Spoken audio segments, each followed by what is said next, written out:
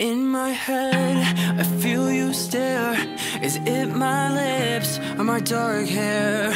I'm used to it, been there a few times. I don't know. Are these thoughts really mine?